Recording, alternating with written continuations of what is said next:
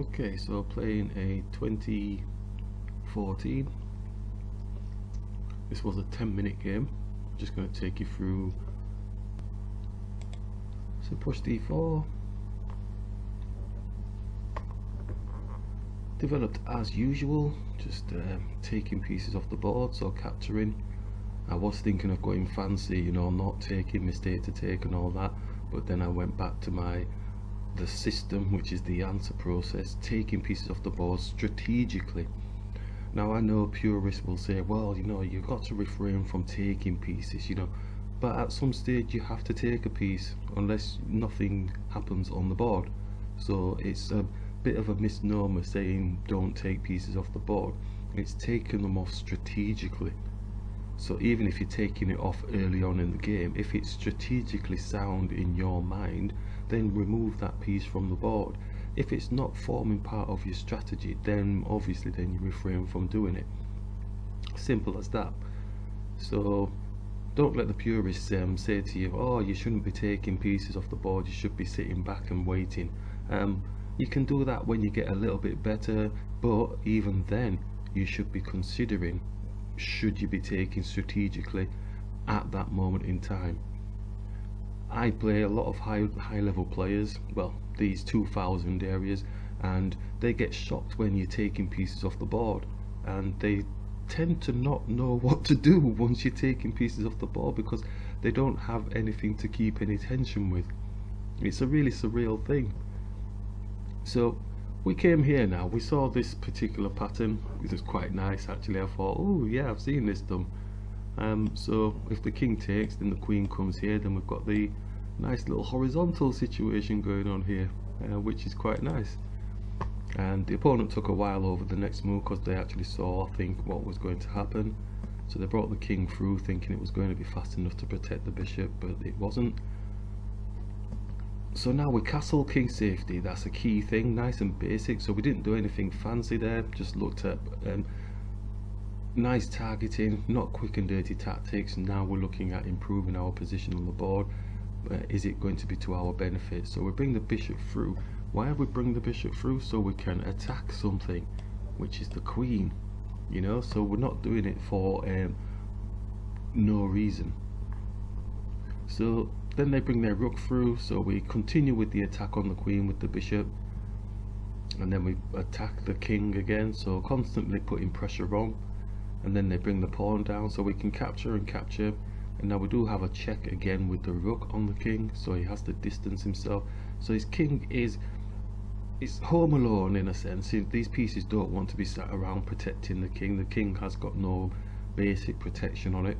So we can grab a pawn here. So now the position that we've got we've got like a nice attack on the king here.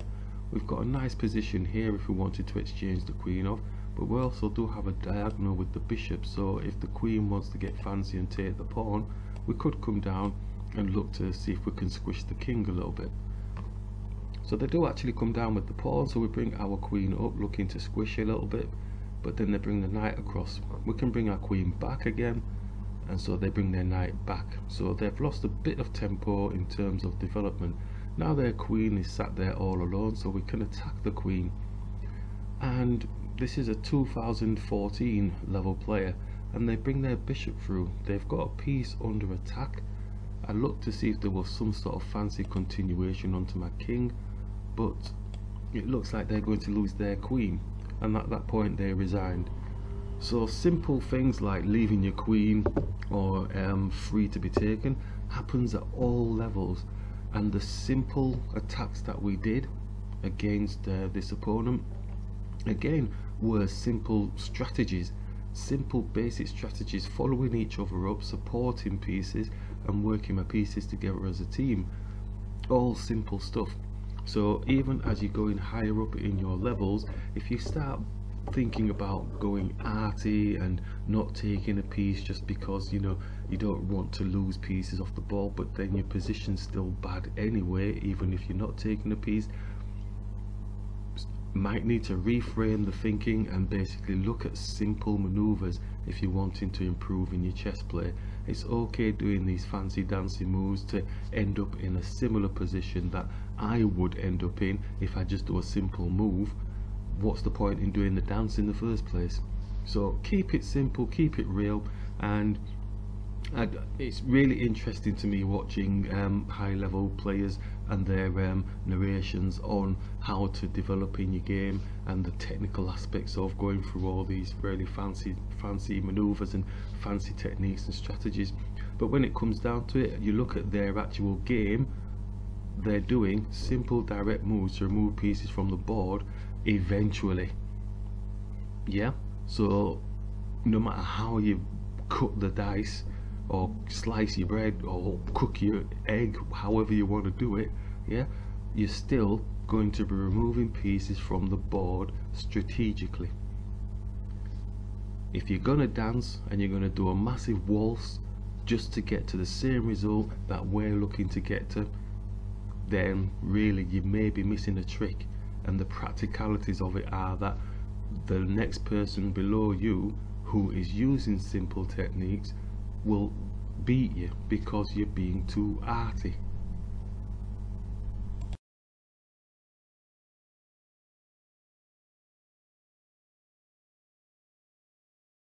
It's a 10 minute 5 second game, casual. A rapid game.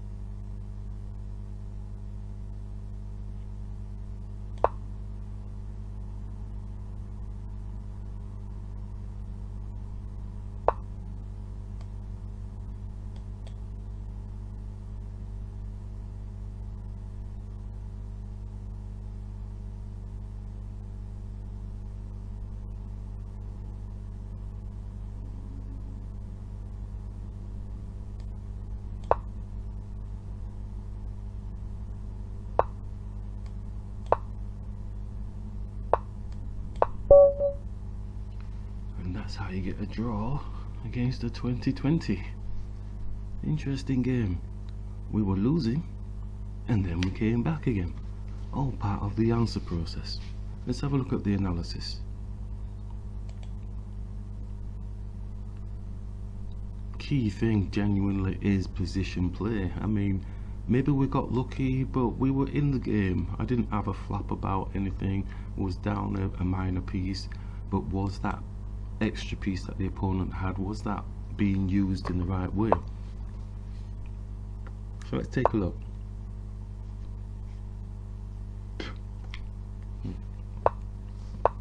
So develop the knights just hopping through here. Captured captured. And eval bars in their favour at the minute but where's the crucial point here bit of dancing with the knight doesn't like our queen move because they didn't take advantage of it whatever it was. And then our knight was getting trapped and I could feel it was getting trapped but I thought well I'll just sacrifice it if it if it can't go anywhere. So we jumped in and sacrificed it because it opens up space in front of their king. Now this was where I believe the opponent had the problem um, the gauge bar showing yes white is out and out winning because they've got a minor piece off the board. But positionally in my head because we're practicing the answer process and don't forget we're doing this against a 2020 it's got a question mark on it but a 2020 with a question mark on is still good because you have to have played quite a few games and won a few games to get to 2020 even with a question mark. Let me just have a quick shift at the Yes, I just checked. I mean, they've played 35 games and uh, I don't think they've lost many of them. So basically, uh, that's why they're at 2020 with a question mark at the moment. So it's a provisional rating. But, um, you know, they must be doing quite well if they're consistently winning. So we've opened up space in front of their king. And, hold on, has it missed it? Yeah, we go. So now we're looking to take, try and take advantage of that. His dark square bishop's doing a really good job defending the pawn. But at the minute there's no other pieces in front of his king really protecting his king. The rook's at the side but I don't class the rooks as um, helping the kings. The rooks are wanting to do their own thing. They need to own a file for their strength.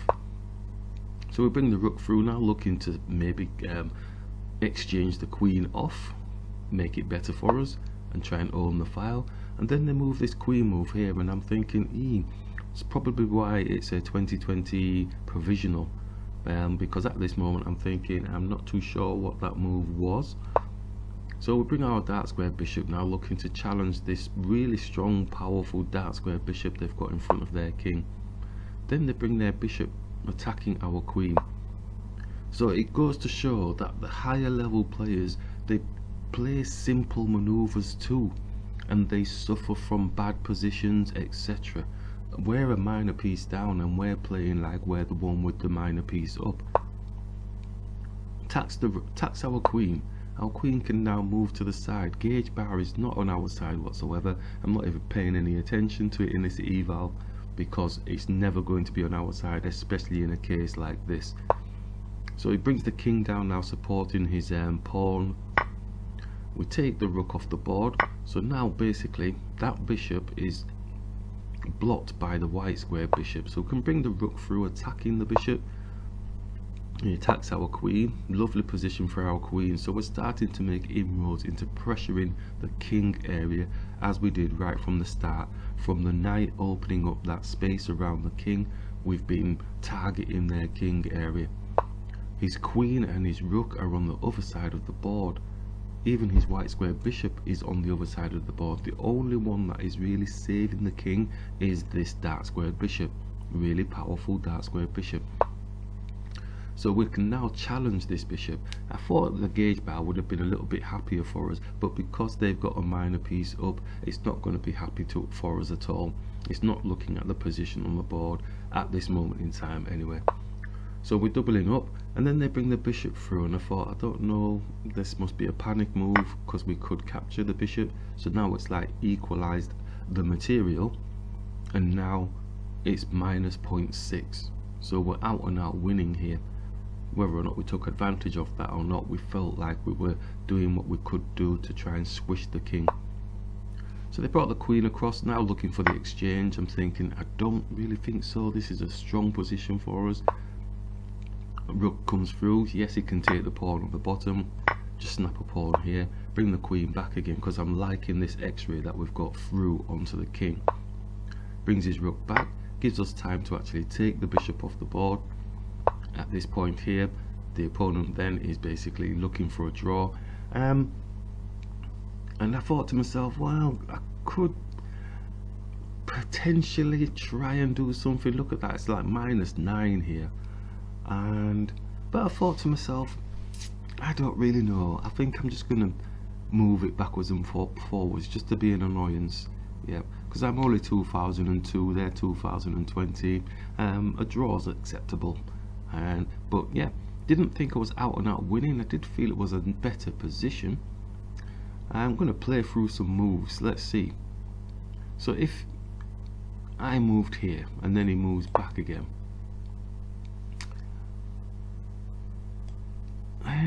the queen c2 that's where we went. Mm-hmm. Yes. Let's move there. I think I'm gonna end up trapping him. Yes yes yes yes yes. I think we're gonna end up trapping him.